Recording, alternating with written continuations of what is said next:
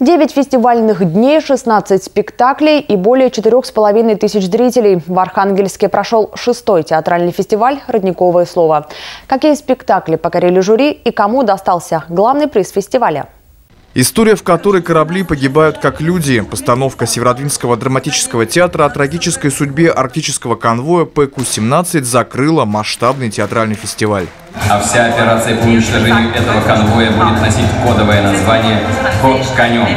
Начать перебазирование наших сил подводных и надводных. Здесь э, велика, конечно, заслуга режиссеров, актеров, буквально-буквально всех создателей этого спектакля. Впечатления просто самые сильнейшие. Спасибо им за это. Спектакль Северодвинского драматического, как и другие постановки, оценивали почетные гости фестиваля, они же компетентное жюри.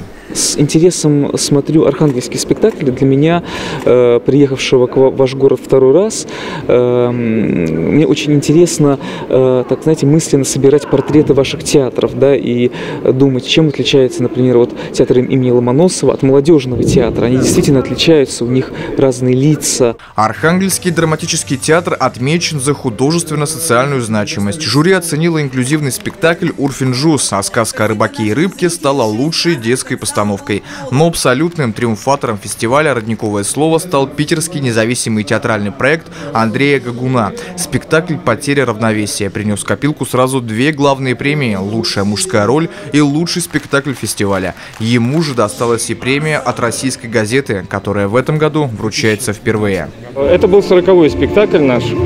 И впервые, где бы мы ни играли э, этот спектакль, где бы мы э, не скитались э, ну, со своей командой, впервые мы были встречены так гостеприимно.